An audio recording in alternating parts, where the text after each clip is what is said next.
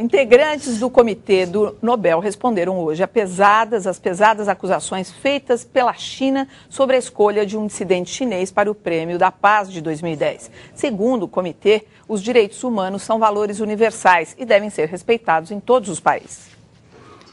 O presidente do Comitê do Nobel, o norueguês Thorbjørn Jagland, negou que a premiação do dissidente chinês Liu Xiaobo seja uma iniciativa contra a China. A escolha do Nobel da Paz, segundo afirmou, está relacionada com a defesa dos direitos fundamentais previstos na Carta das Nações Unidas, que incluem a democracia e a liberdade de expressão. E essas são as bandeiras defendidas por Liu Xiao, que por conta disso foi condenado a 11 anos de prisão. Em Pequim, o governo chinês anunciou a criação do Prêmio Confúcio da Paz, em oposição ao Nobel, e o primeiro ganhador é um vice-presidente de Taiwan, a ilha de Formosa, que já pertenceu à China continental e hoje é um país independente.